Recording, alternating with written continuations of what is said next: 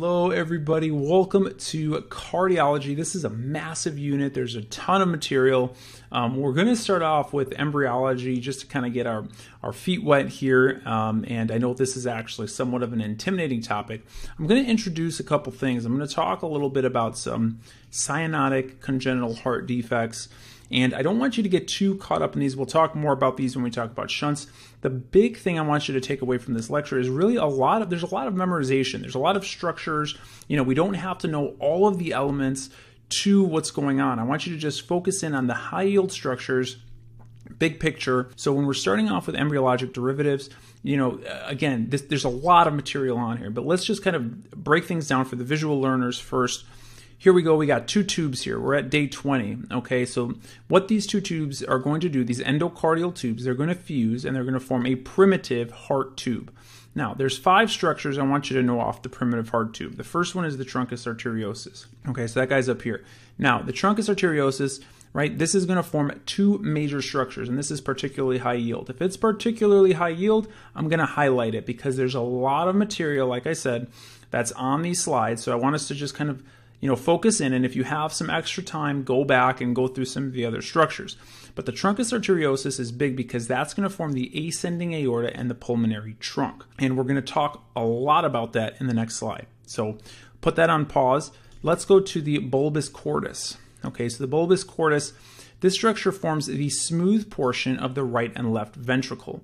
Okay, now do not get this confused with the primitive ventricle which forms the trabeculated portion of the right and left ventricle. It's one of those things where they can kind of ask about this in you know a few different ways. Now I I just kind of remember, and I don't know if this has anything to do with it, but I just think of you know a light bulb, and a light bulb is very smooth. Okay, so a light bulb is very smooth. The bulbus cordis being the bulb of the light bulb being very smooth, so it's forming the smooth parts of the right and left ventricle. Okay, and I'm not going to go through, like I said, all of the details as to why this is because you don't really have to know all of that. A lot of this, in this slide in particular, a lot of it is memorization. Okay, so the primitive atria, same concept. It's going to form the trabeculated portion of the right and left atria. So both primitive ventricle and atria are going to form trabeculated portions of their respective tissues. Okay, so here's the primitive ventricle. Here you can see the primitive atrium. And then there is one more structure. It's not labeled here, but down here we have the sinus venosus. And the sinus venosus is another structure that I think is particularly high yield for you to know. We'll talk about the coronary sinus in a little bit, but this is one of the particularly high yield structures you want to remember that being associated with the sinus venosus. Part of the reason why this is such a high yield structure is because it's kind of like, you know, you think of, you know, a bunch of highway traffic systems and there's one stop in the middle, Times Square, where everybody's going to be, where all these roads kind of intersect. And that's, you know, in some ways how I think about the sinus venosus. Truncus arteriosus, eventually going to the sinus venosus, the cardinal veins, which we'll talk about in a minute also going to the sinus venosus. The vitelline structure, the vitelline vessel is also doing the same. And what we have here is, you know, from the placenta, we're bringing in oxygenated blood, right? So we're bringing in oxygenated blood from the placenta, from mom. That is going through the umbilical vein. Remember, arteries take blood away from the heart. Arteries are not always oxygenated, right? When you think about the pulmonary artery, it's not oxygenated. When you think about the umbilical artery, it's generally not oxygenated blood because the rule is that the artery takes the blood away.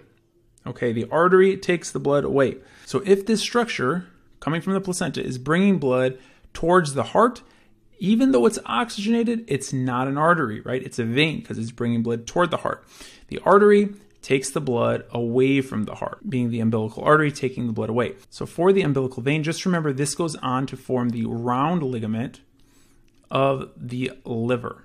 Okay, so the round ligament of the liver, essentially it fibroses, it forms a fibrous cord, and eventually forms the round ligament. And this is something that can sometimes come up. And this is kind of the other way that they can describe it, the ligamentum teres hepatis um, but again, the round ligament is probably the way I would remember it. And as far as the vitelline veins go, you know, when I'm thinking about this, I'm thinking of blood really draining, you know, here from the yolk sac. Okay, so I'm thinking more uh, from a GI perspective. Okay, so we're thinking about the gut tube during gestation. We're talking portal veins, we're talking superior mesenteric vein, inferior mesenteric vein, hepatic veins, right? Those are the things we're talking about with the vitelline vein. And the last thing here I want to talk about are two things. First, the common cardinal veins. This is another one where there are actually, you know, very specific cardinal veins. You can see them here that are associated with the uh, superior vena cava. But all you really have to know is that the cardinal veins are associated with uh, or are the embryologic derivatives of the superior vena cava. The endocardial cushions are going to come up a lot as we talk through a lot of the video series. Um, these are associated with uh, valve formation as, as well as the membranous portion of the ventricular septum, which you'll see in a moment is particularly high yield because the membranous portion of the ventricular septum is the most common site for ventricular septal defects. Okay, so that's why that comes up. Also, remember the heart begins beating around week four.